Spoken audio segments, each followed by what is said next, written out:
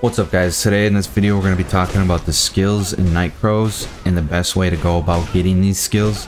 I'm going to be explaining some different tactics on how to utilize your skills and where to get them and a bunch of other things so let's just hop right into this. So you've been grinding your main quest line and you may have come up to the point where you need to upgrade your skills to progress even further in your quest. You're going to come to your map and you're going to see your main village here. You're just going to go here teleport there, whatever you got to do. Once you get in town, you're going to want to come to skill, click on the skill guy, and you're going to see the different skills that you have. Now, before going ahead and just buying all types of skills, because you should have quite a bit of gold saved up. See, I have 5,600,000 saved up here. And you can see though, some of the really good skills cost 9 million gold. So there's two ways you can go about this. You can keep your gold and buy the 9 million skill right out the gate before you upgrade your smaller ones but it's recommended you still buy the cheap 90,000 150,000 ones that pertain to damage and helping you kill and farm faster. Because the 9 mil skills you can get around level 40 that's when they're going to come into play. That's when it's going to be a little bit easier to start farming and grinding to get the 9 million. But here I'm going to show you in skills what you want to look for. So in my skills I'm going to get the Gracious Light because this is going to buff me with crit damage, PvE. And so this basically is saying you need to look at your skills, go through them, see what you would want. The blue ones here are going to be the 9 million. The purple ones I can't even buy yet. So we're not even going to worry about them right now. Down over here is the passives right underneath your skills. This one is where we're going to buy some passives to upgrade so I can buy the physical reinforcement, upgrade it to 4. So I'm going to be looking through these and seeing that I do want offset and I want flow detection. So let's go ahead and just buy these skills. So I am going to get the Gracious Light. This is going to be one that I need to buy. Once you buy a skill, you can come over to your bag and then you just use it. You should have it. Now I'm going to go through, after I buy these skills, how to actually set up your skill sequences. Now this is very important to understand because when you're fighting, you can actually set up how you want your skills to discharge and how you want them to be in a sequence. It's going to shoot my lightning strike first, normal attack, normal attack, and then a discharge. But now that I have gracious light, I want that to be in there but it's looking like I cannot register that in my skill sequence. So I can register it in my quick slot down at the bottom. Like I can click auto. Perfect. That is beautiful. So we have gracious light casting on auto. That is beautiful.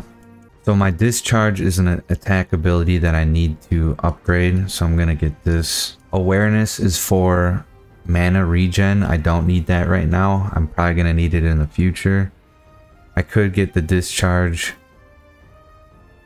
level 3. I might do that. I might actually get lightning strike level 2 right away and yeah, want that one. Offset. This is what increases my melee and magic evasion. Flow detection increases damage to normal types. We believe this is to normal mobs or your normal attack. We could not find it on the wiki, but it just says increased damage to normal types. I'm going to go ahead and do that one too because I need to increase my damage. And then I will go ahead and get the discharge. Where's the lightning? Now I might do lightning. I'm gonna go ahead and do lightning instead of discharge.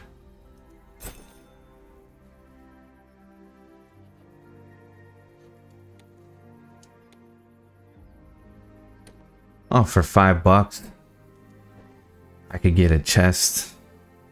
Huh. 2.5 mil, 200 diamonds. Not bad, they know what I want. That's how they get you.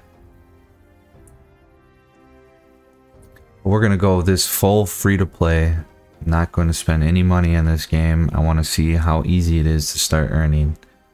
We're going to just go ahead with discharge too. Alright, down to one mil.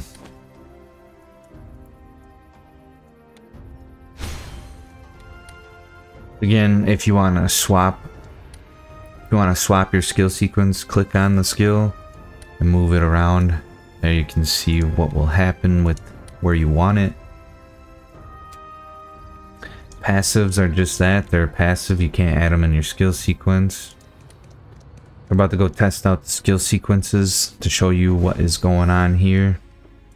Look at this map, this game is beautiful.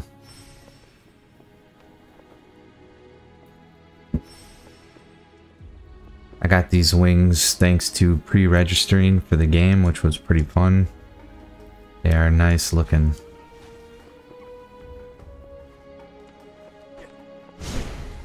Oh, it casted it on its own right there. Perfect. You can see it shows what skill it is on, so it's going to skip the skills that aren't in play.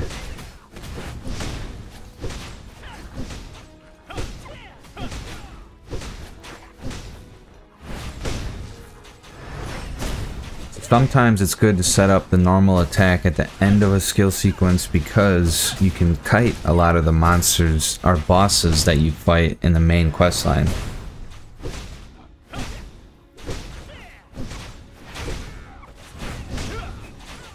This is just a short guide on the skills. I'm going to be making more guides. Next guide is going to be on dungeons. I'm actually going to be doing uh, a video on how to get gold too. There's an easy way to get gold.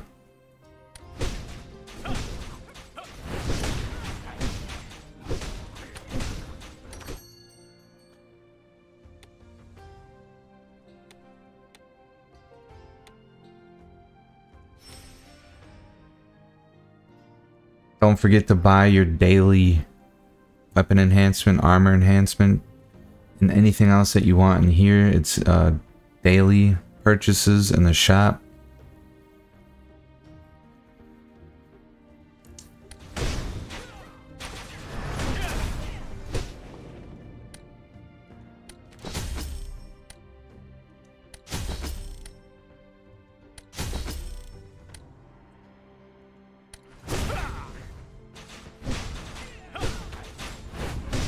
Alright guys, I'll see you in the next video. Make sure you join the Juice Gaming Team Discord. Join the Juice Team Guild.